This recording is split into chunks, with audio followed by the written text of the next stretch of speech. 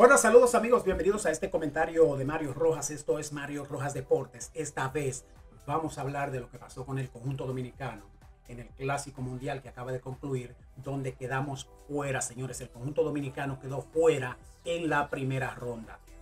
Vamos a buscar culpables, vamos a buscar la causa de lo que pasó, por qué perdimos. Señores, la cosa comenzó desde arriba. La cosa comenzó desde arriba, se improvisó, se inventó mucho. Se pone un gerente general que está jugando todavía, que es un jugador activo en las grandes ligas. Ese es Nelson Cruz. Entonces lo ponemos como gerente general, sabiendo la responsabilidad que tiene un jugador activo en las grandes ligas. Eh, pero bueno, vamos a decir que la cosa no se perdió ahí. Eh. La cosa no se perdió ahí. Pero se inventó, se improvisó con Nelson Cruz, se buscaron los jugadores, se movieron las piezas, todo lo que usted quiera.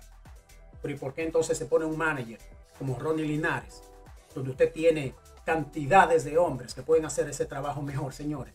Usted me dice cuál es la trayectoria de Linares y yo le digo, está bien, está bien, buena elección. Señores, pero ¿cuál es la trayectoria de Linares? Perdedor, un perdedor en la Liga Dominicana. Un improvisador. Eh, un pullador. Señores, es como que usted compre un iPhone 14 usted de dos mil dólares por ese iPhone y usted se lo lleve a un técnico en la calle, a cualquier técnico, ven, puya, me puya. Va a pullar, va a dañar el celular, no lo va a saber arreglar.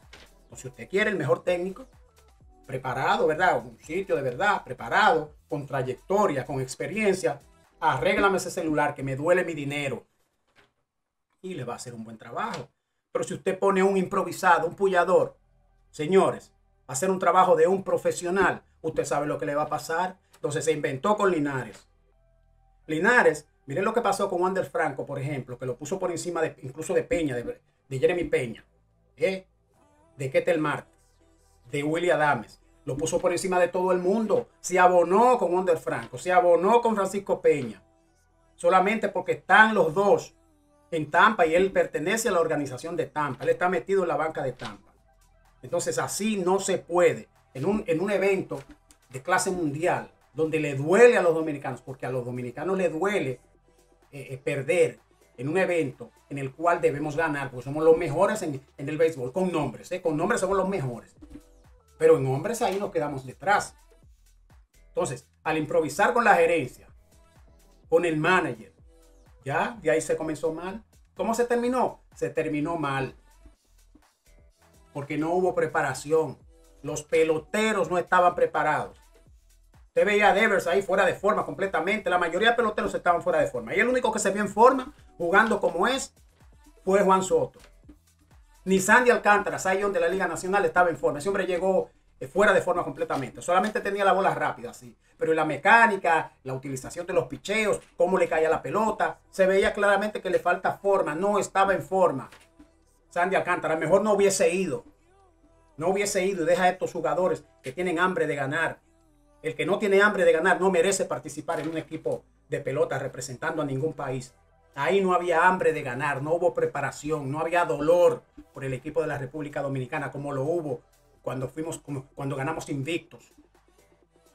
Que no teníamos esos grandes nombres y sin embargo le dimos pela a todo el mundo. Porque había dolor, había orgullo. Tenían hambres de ganar. Eso no se vio ahora, señores. Y miren si es así.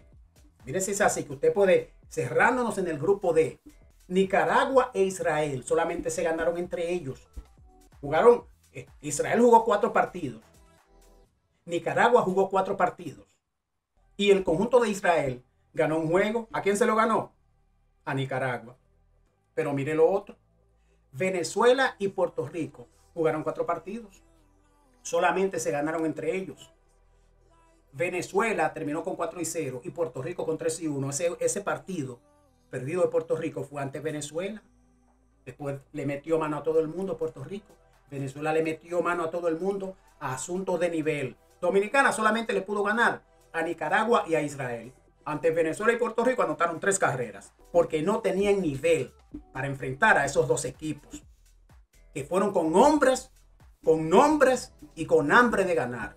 Nosotros solamente llevamos nombres a este clásico mundial. Y por eso nos dieron con todo. No estábamos preparados. No teníamos ganas de ganar. Se improvisó, se inventó, se puyó mucho en ese equipo de la República Dominicana. Desde arriba, desde la gerencia comenzó el compañerismo, el amiguismo, la dedocracia, el ventú.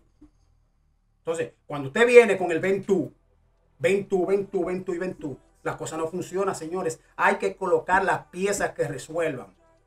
En un séptimo episodio, con el juego en la línea, ¿verdad? Para República Dominicana. ¿Cómo usted va a dejar batear a Francisco Mejía, al Mejía este de Tampa?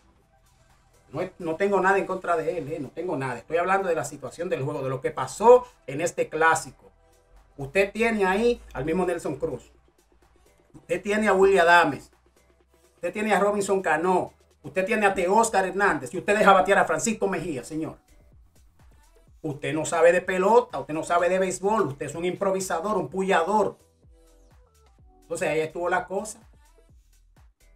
Ese es el comentario, señores. Si ustedes tienen algo más que decir, que abundar, si están de acuerdo, en desacuerdo, pues díganlo, coméntenlo. Coméntenlo. Eso es lo que yo creo. Esa es mi opinión personal. Lo que yo pienso. Entonces, señores, hasta la próxima.